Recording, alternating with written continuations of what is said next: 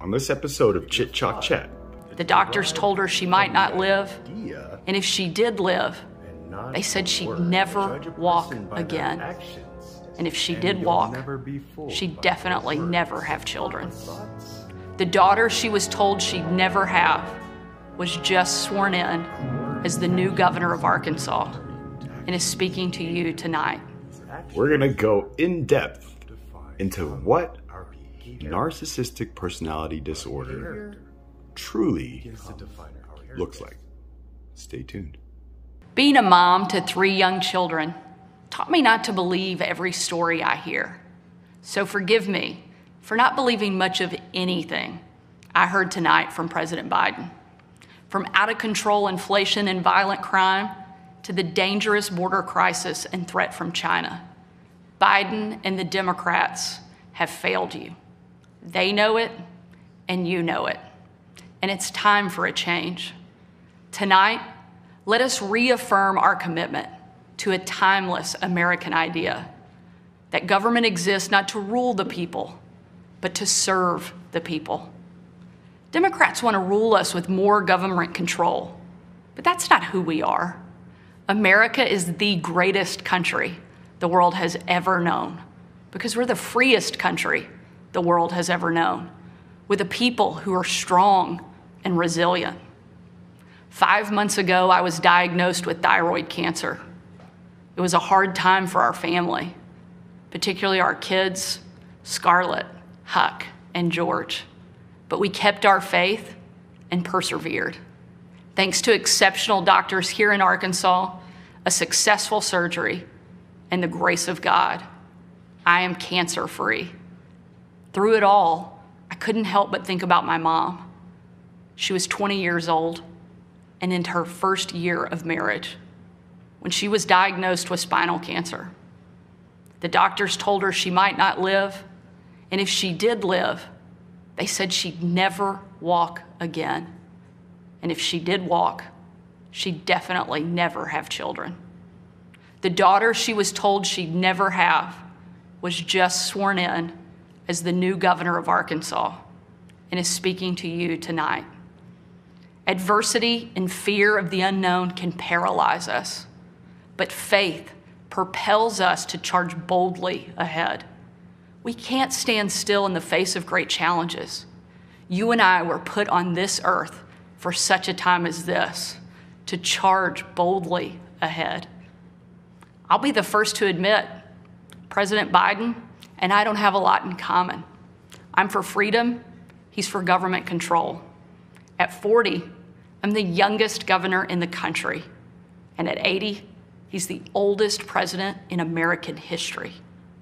I'm the first woman to lead my state, and he's the first man to surrender his presidency to a woke mob that can't even tell you what a woman is. In the radical left's America, Washington taxes you and lights your hard earned money on fire. But you get crushed with high gas prices, empty grocery shelves, and our children are taught to hate one another on account of their race, but not to love one another or our great country. Whether Joe Biden believes this madness or is simply too weak to resist it, his administration has been completely hijacked by the radical left. The dividing line in America is no longer between right or left. The choice is between normal or crazy. It's time for a new generation of Republican leadership.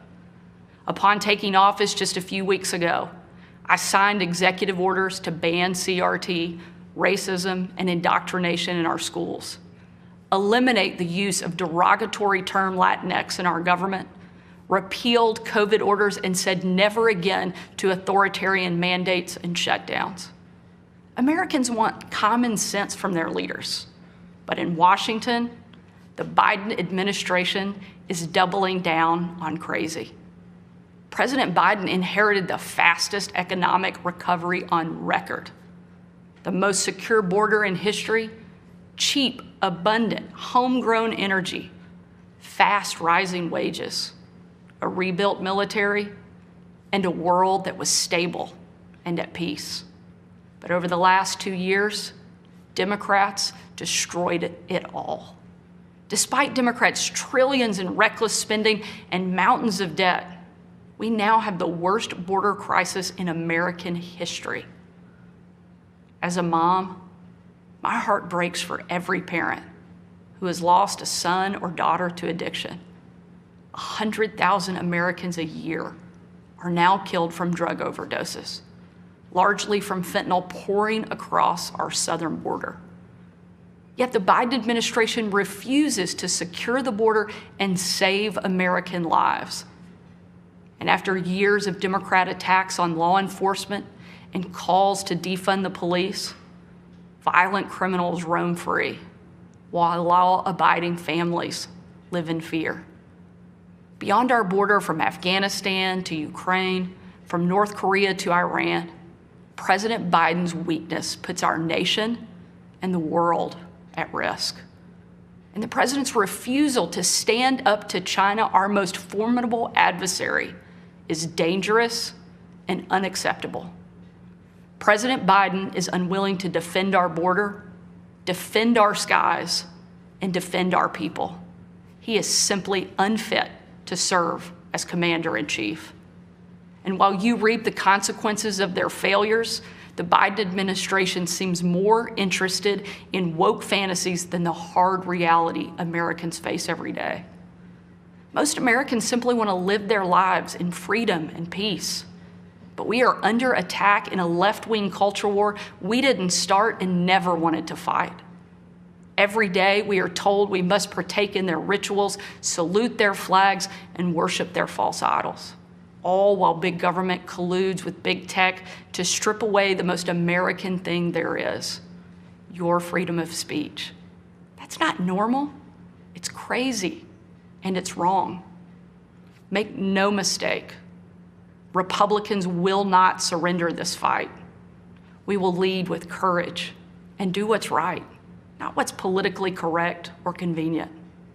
Republicans believe in an America where strong families thrive in safe communities, where jobs are abundant and paychecks are rising, where the freedom our veterans shed their blood to defend is the birthright of every man, woman, and child.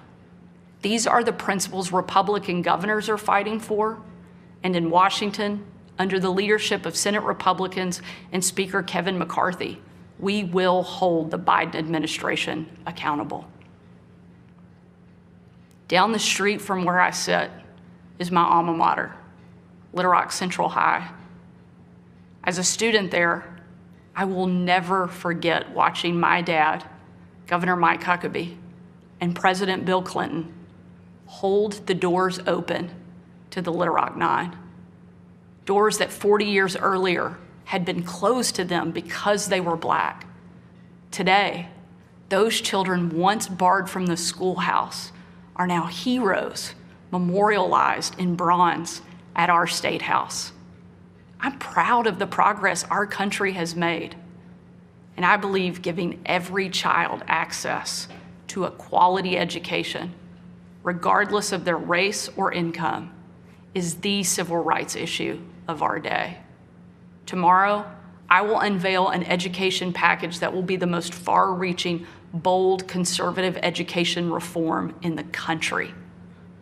My plan empowers parents with real choices improves literacy and career readiness, and helps put a good teacher in every classroom by increasing their starting salary from one of the lowest to one of the highest in the nation. Here in Arkansas and across America, Republicans are working to end the policy of trapping kids in failing schools and sentencing them to a lifetime of poverty. We will educate, not indoctrinate our kids and put students on a path to success. It's time for a new generation to lead. This is our moment. This is our opportunity. A new generation born in the waning decades of the last century, shaped by economic booms and stock market busts, forged by the triumph of the Cold War and the tragedy of 9 11. A generation brimming with passion and new ideas to solve age old problems. A generation moored to our deepest values and oldest traditions, yet unafraid to challenge the present order and find a better way forward. If we seize this moment together, America can once again be the land of the free and the home of the brave. During my two and a half years at the White House, I traveled on every foreign trip with the president. A trip I will never forget was on December 25th of 2018.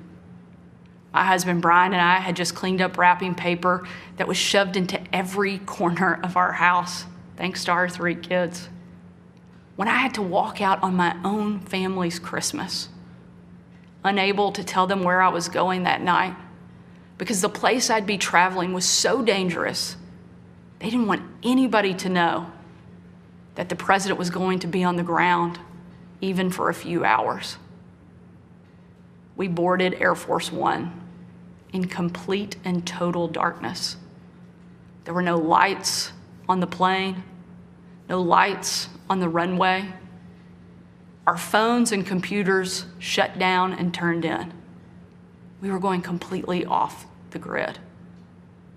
Nearly 12 hours later, in the pitch black of night, we landed in the war torn part of western Iraq. It was again a similar scene.